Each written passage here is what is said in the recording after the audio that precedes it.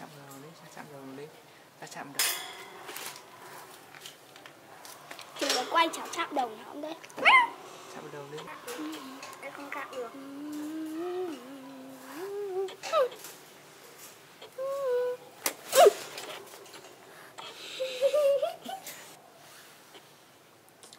Chú biết nó sợ hai con kia không được đi à? Nó không biết gì